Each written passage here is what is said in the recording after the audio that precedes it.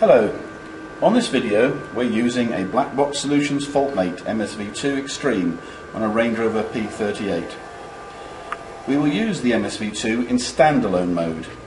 To do this we turn it over and remove the protective metal cover.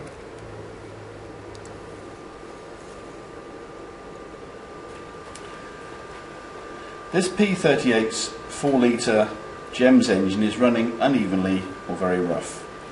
So we will now check the fault codes.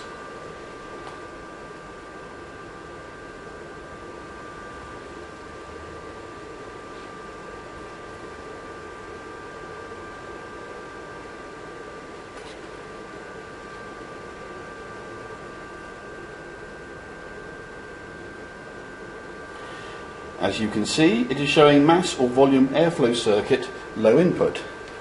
This means that the airflow meter is defective, or the airflow meter plug is not plugged in or broken, or there is a break in the wires. We will now check all of these possible faults. We have now fixed the fault, which was a defective airflow meter. So we will now go back into the fault codes and clear them.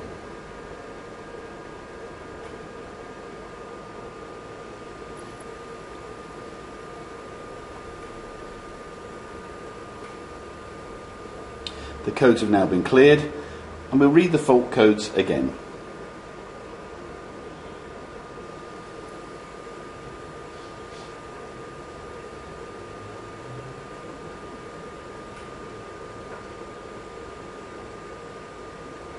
As you can see, there are no fault codes present.